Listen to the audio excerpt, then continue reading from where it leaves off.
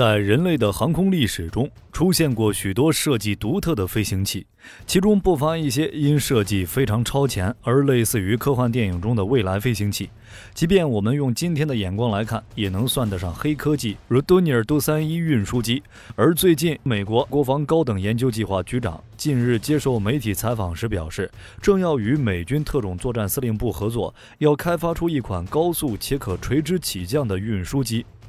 让部队可在交通极为困难的地点快速进行投放和后送任务。项目名称为“高速无跑道科技”，也叫“冲刺计划”。这消息一出，直接打破了之前大家对冲刺计划的固有看法。因为之前大家都觉得美军很可能会采取直升机构型的方式来达成目标，但在采访时，DARPA 局长汤普金斯却并未提及任何直升机构型的相关说法。相反，在公开释出的概念照中，却是两张不同构型但都是定义机的概念图。加上汤普金斯局长还指出，高速、机动性和垂直起降这三项条件，过往已被很多不同公司用各种形式实现，但能够兼顾三者的尚未现身。因此，不少人推断，DARPA 的目标应该是创造出一款三者兼备且具备垂直起降能力的新运输机种。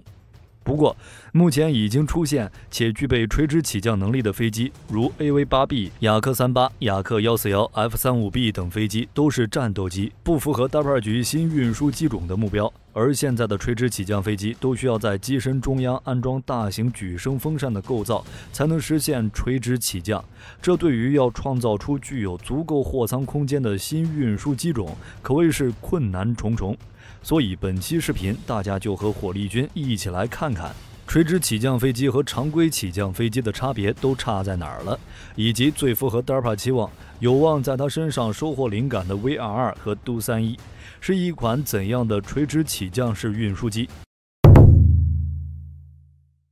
垂直、常规这两种起降方式，其实除了飞机本身的设备外，最大的区别在于跑道。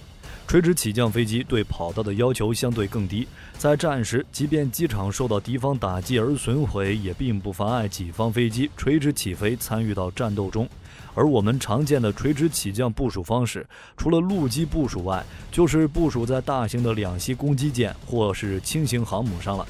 比如美国，他们走的便是部署两栖攻击舰的路子，在作战时往往为陆战队提供火力支援使用。常见机型就是 AV-8B 和 F-35B，其中 F-35B 飞机深受欧洲国家和美国盟友的喜爱，也想让自家的两栖攻击舰具有轻型航母的战斗力，或是当做轻型航母的舰载机使用，如日本出云号护卫舰或是英国的伊丽莎白号均是如此。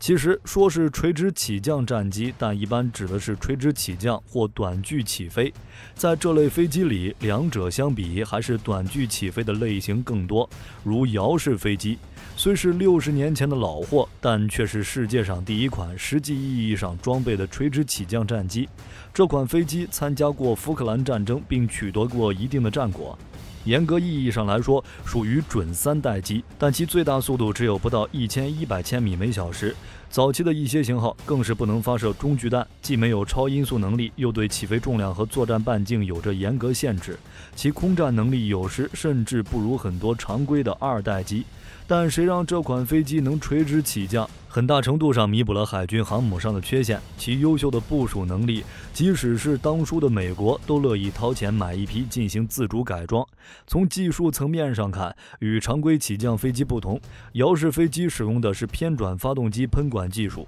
简单点，就是利用牛顿第三定律，通过喷气产生的反作用力，硬推着飞机升起来的。不过，因为年代比较久远，很多技术不是很成熟，导致这种起降方式会让发动机可靠性变差，大修的周期无限延长。但不可否认，遥式飞机依旧开创了垂直起降飞机实用化的先河。雅克幺四幺是世界上第一款具有超音速能力的垂直起降飞机，在很大程度上改善了摇式飞机机动性差的问题。它所采用的主发动机加升力发动机的设计思路，其根本原理同样属于旱地拔葱，利用反作用力硬推起飞。它以雅克三八为基础，以实现截击和对地对海攻击为目标而研发，但因苏联解体和该飞机前后双引擎之间存在气流干扰，最终导致原型机坠毁而停止生产。虽然雅克幺四幺没有服役，但是它的设计思路还是影响到了后来的一些机型，应该说是一款很有特点的垂直起降飞机。第三款经典机型是美国的 F 三五 B，利用空气动力原理是设计垂直起降飞机的另一个设计思路。F 三五 B 的升力风扇技术利用与空气的相互作用力而产生升力起飞。在苏联解体后，洛马公司获得了雅克幺四幺的一些技术资料，借鉴了其部分原理，并使用了罗罗公司的升力风扇技术，最终克服了雅克幺四幺前引擎热气流干扰的问题，成为了一款相对可靠且能量产的机型。F 三五 B 是五代战机中唯一可以短距起降、垂直起飞的机型。但是其作战半径相对于 F 三五 A 和 F 三五 C 缩水了三分之一左右。大家都说 F 三五是被 B 型拖累，但是火力军觉得恰恰相反，因为在三个型号里，只有 B 型才是美国海军陆战队最想要的，因为他们有海外独立远征作战的需求，其两栖攻击舰需要部署一些固定翼战机，AV 八 B 和大黄蜂以打击为主，是曾经的主力。而若让 F 三五 B 全面替换了这些老式飞机，作战效果自然大大提升，整个带刺都升级了。通过这三款，我们知道，相对于常规起降飞机，垂直起降飞机具有快速部署、实用高效的特点。在前沿和攻击舰上，能跟随地面部队部署和攻击，对前方支援回应速度快，使用起来非常灵活。但也相对的，垂直起降飞机综合性能偏弱，其技术复杂，故障率高。最关键的是载弹量和作战半径较差。这也是目前状态下垂直起降飞机相对于常规起降飞机最大的短板。而说起垂直起降的运输机，大家第一反应应该是 V22 鱼鹰，但鱼鹰飞机和刚才三款可不太一样，它是轻转旋翼机。属于一种固定翼飞机和直升机的混合体，既有直升机的垂直起降和报停能力，又有类似于固定翼飞机的更快速度和较远的航程。应该说，是一款具有轻步兵机动和步撼能力的良好运输工具。这类飞机的技术构想来源于上个世纪八十年代，苏联在阿富汗战争中的米二四，体现了武装直升机强大的作战能力，给了美国很大的震撼。因此，美国便提出了需要更大速度和更好性能的直升机，然后才有了 V 二二这么一个富有创造性的构型。但这类飞机的灵活性不如武装直升机，因此并没有发展战斗型号，而且这也不符合 DARPA 想要的新运输机。要想满足高速、机动性、垂直起降三项能力以及运输机大容量的特点。，DARPA 或许可以从德尼尔都三一身上入手，毕竟这可是世界唯一具有垂直起降喷气式的运输机。不走寻常路的多尼尔都三一运输机发展于上世纪五十年代末，由德国多尼尔航空制造公司设计研发。二战后，当时的西德空军非常担心自家机场遭受到东方集团部队的空袭。所以便计划发展一种具备短距离起降的飞机，以此来应对突发的战况。德国不同于当时已经走在研发摇式飞机的英国，他们另辟蹊径，选择研发垂直起降的运输机，于是便有了敦尼尔都三一。接下来我们看看 DARPA 可能借鉴的几个地方。德尼尔都三一运输机机身采用常规运输机机身结构，主翼为悬臂式全金属上单翼，尾翼采用十字形尾翼布局，在每侧主机翼的下方是一个发动机吊舱，并在两侧翼间还有一个升力发动机吊舱，而尾部的十字形尾翼的升降舵则安装在垂尾的垂直安定面上，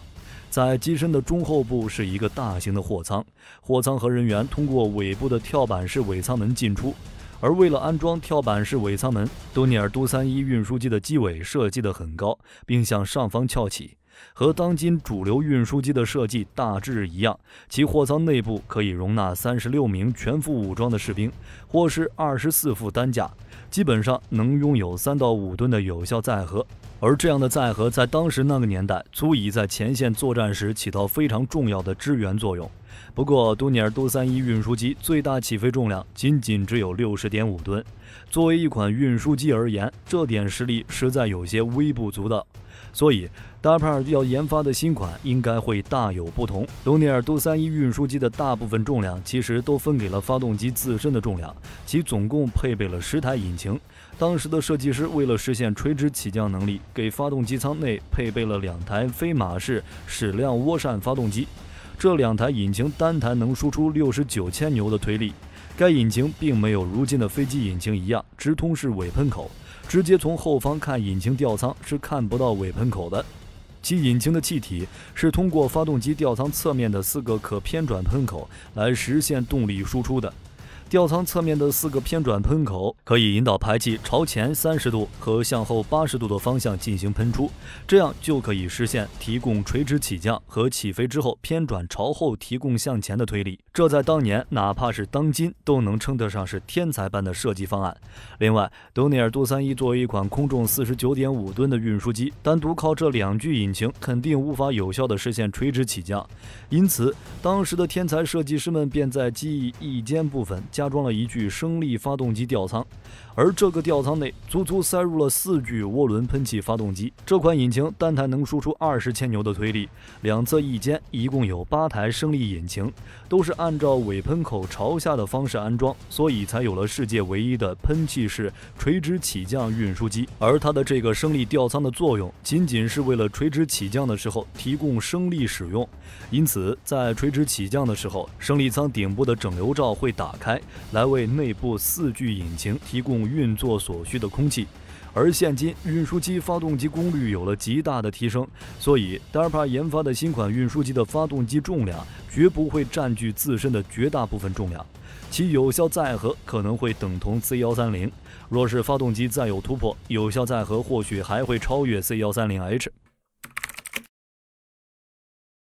在当时那个年代，一架运输机具备十具引擎，并且还具有非常复杂的动力输出方向，因此对于引擎的控制将会是一个技术难题。达尔帕研发的新款运输机必然会借鉴并且翼尖的八具升力引擎的尾喷口是可以进行向后或向前十五度进行调整的。这些尾喷口的方向调整两侧翼尖是独立的，因此多尼尔多三一运输机才可以在垂直起飞之后，通过调整翼尖的尾喷口方。方向来实现转向等操作，而且在起飞之后，如果遇到机身货舱内携带大量货物，造成机身前后不平衡怎么办？为了解决这个问题，多尼尔多三一运输机的机尾还设计有四个喷嘴，其中两个朝上，两个朝下，并且喷嘴同样可以向后或向前十五度进行调整，其作用就是用于调整飞机垂直起飞之后的机身俯仰控制问题。尾部喷嘴的动力来自于翼下吊舱内的飞马发动机，在这样的一套动力系统的共同作用下，就可以解决多尼尔都三一运输机垂直起飞的稳定性问题。不过，在当时，这套动力系统也存在不少问题。第一个问题是很难实现同时启动，而各种尾喷口的控制也存在动力分布不均的问题。因此，在早期试验的时候，会发现飞机晃动特别的明显。这个问题在后续优化升级之后才得到了解决。第二个问题就是翼尖的八具引擎直接朝地面喷气，大量高速热气流很容易会对地面造成侵蚀，并且还会出现引擎再次吸入排出的废气，造成。引擎运转效率低下的问题，当时的设计师最后通过将垂直起降时喷嘴的角度设置为八十五度，而不是直接垂直地面的九十度的方式来解决这些问题。这些都是单发局可以借鉴的地方。其独特的动力系统可以说是那个年代垂直起降技术探索的尖端技术之一。不过，随着世界局势的发展和军方对于垂直起降的兴趣锐减，该项目最终被下马。最终仅剩下两架原型机被保留了下来，分别存在厂商的博物馆和德意志博物馆中，见证着这款喷气式垂直起降运输机的天马行空的过去。或许，大帕所研发的新机种运输机会像星河战队里的飞行器一样高效便捷。好了。关于垂直起降运输机，大家还有什么想要补充的？欢迎在评论区留言。本期视频内容就到这里，我们下期再见。